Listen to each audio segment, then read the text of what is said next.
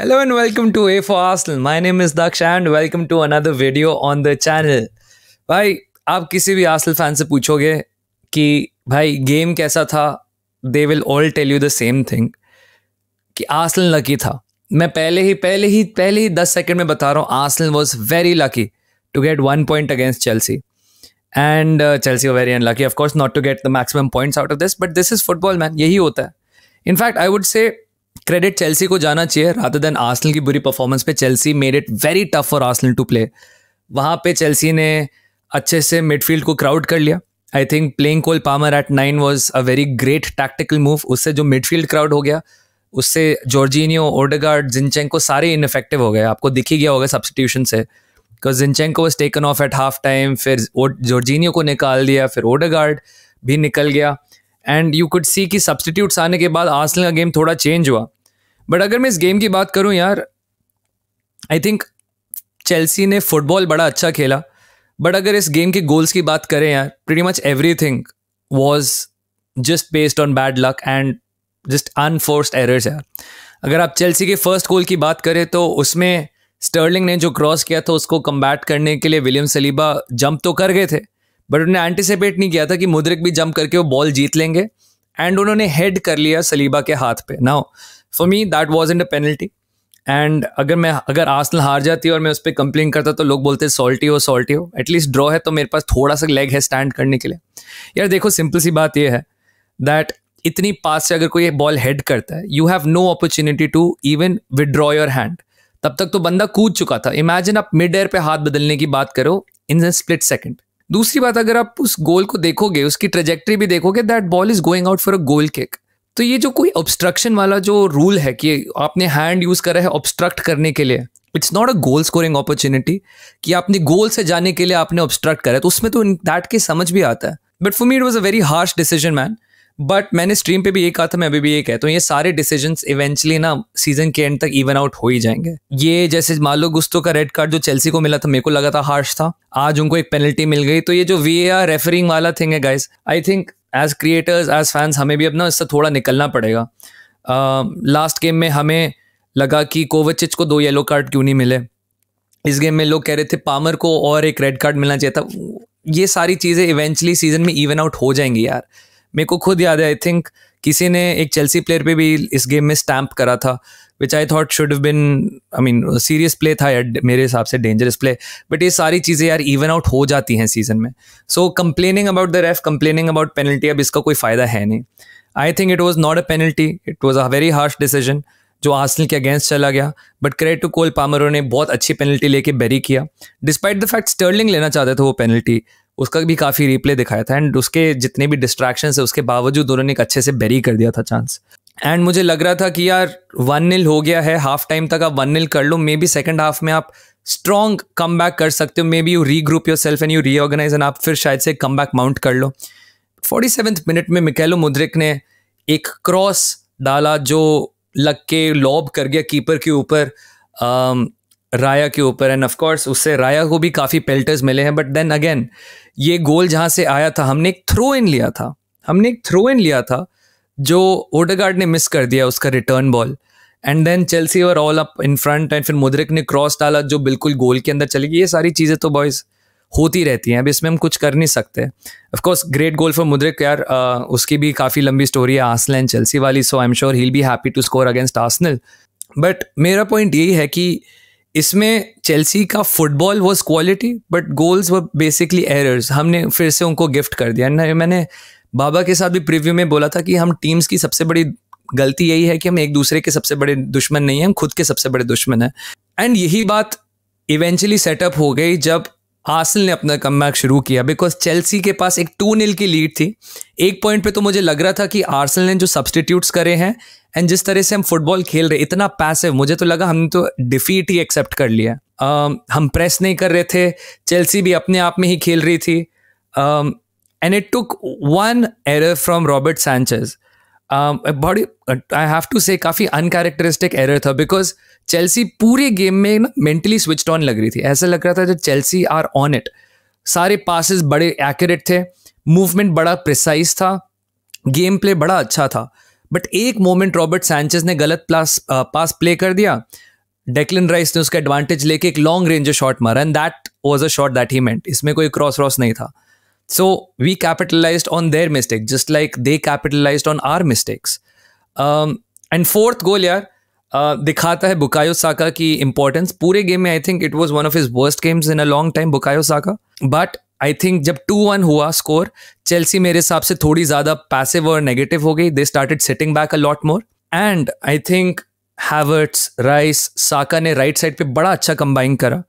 And उसके बाद जो क्रॉस डाला साका ने आई थिंक वो इसलिए डाल पाए बिकॉज़ कुकर ने उनको थोड़ी ज़्यादा स्पेस दे दी जितना उन्होंने पूरी गेम में नहीं दी होगी। एंड साका का क्रॉस आया and Trossard was there at the back post to finish it from that point on I wish हम थोड़ा और करते बिकॉज़ आई थिंक उस पॉइंट पे Chelsea were a little rattled हमारे पास मेरे हिसाब से अपॉर्चुनिटी थी कि हम और कंसीड कर और स्कोर करें। कंसीड भी कर सकते थे बट मेरे मेरे को लग रहा था कि Arsenal had the opportunity to score a lot more now इस गेम में आई थिंक मेरे हिसाब से काफ़ी कल्प्रिट्स थे आसनल के लिए। I think maybe apart from Rice and Martinelli everyone had a bad bad game सबसे ज़्यादा फिंगर्स तो पॉइंट होंगी डावेड राया पे and I can understand why but I think ये थोड़ा क्रिटिसिज्म ज़्यादा ही हो रहा है। आई थिंक रैम रैमस्टेल सबके फ़ैन फेवरेट है। एंड जो भी मिस्टेक्स राया करते हैं those will be magnified tenfold I think ये हम भूल रहे हैं कि चेल्सी के पास दो और अपॉर्चुनिटीज़ थी, एक खुद की राया की गलती की वजह say that Raya rectified Fairlie Okesh एक जैक्सन के पैर से बॉल ले ली थी एंड जो उन्होंने मिस्टेक करके कोल पामर को बॉल दे दी थी, उसको अच्छे से सेव भी कर दिया था उन्होंने।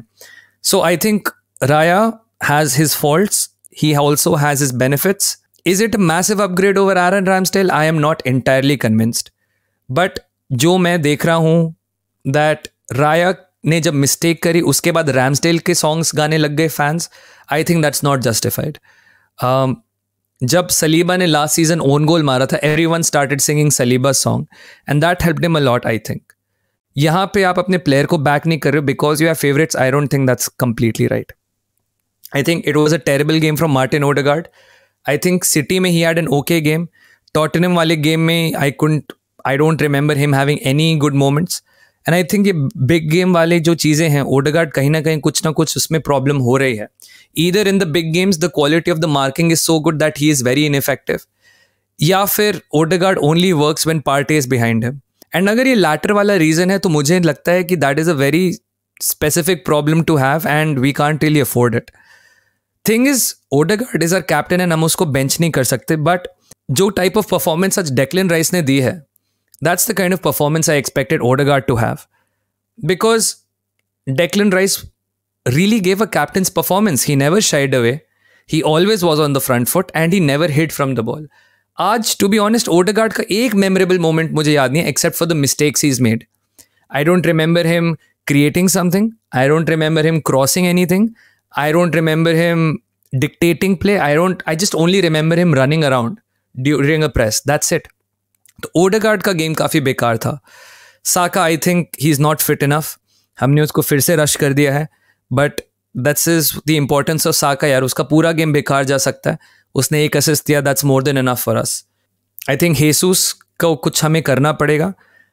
He drops in too deep आज उसका एवरेज पोजिशन अगर आप देखेंगे तो Jesus was right there in the centre of the circle and we don't need that from a number nine we need somebody जो एक आउटलेट भी बन सके।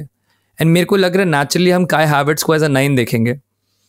Speaking of impact players and Kai Havertz है काय हैविट्स का काफ़ी अच्छा इम्पैक्ट था जब वो आए he won more aerial duels than any player on the pitch today which is surprising Trossard का जो इम्पैक्ट था वो बहुत बढ़िया था।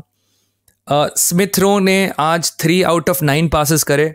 Uh, उसका इम्पैक्ट उतना अच्छा नहीं था but specially because three out of nine in the defensive third is not a good shout statistically so I will not be surprise मेरे को काफ़ी भारी दिल से बोलना पड़ रहा है that we will move on from Emile Smith Rowe I love the boy but I just don't think he is fitting in to our system any more and painful होगा but we just have to be like this and now and देखो यार, मैंने जैसे कहा Chelsea fans will be very disappointed with this result Arsenal fans are happy कि आप to नील से to two कर दिया। अगर रोल्स रिवर्स्ड होते और हम टू नील से टू टू कर देते तो हमें मैसिव बॉटलर्स बोलते और चेल्सी के लिए एक बहुत इंकरेजिंग पॉइंट होता। आई थिंक सेम चीज़ हमारे लिए भी अप्लाई कर रही है। दैट चेल्सी uh, ने एक टू नील लीड को टू टू होने दिया एंड आसल ने टू नील से टू टू कर दिया। And I think that's a very encouraging point of course हम अगर ऐसे खेलेंगे जैसे आज हमने चेल्सी के साथ खेला we are not winning anything Champions League Premier League तो भूल जाइए। अब डोमेस्टिक कप्स में भी आगे नहीं जाने वाले ज़्यादा। So we can't afford to repeat this performance again we just have to put it down as one of those terrible performances जो आज हमने की है.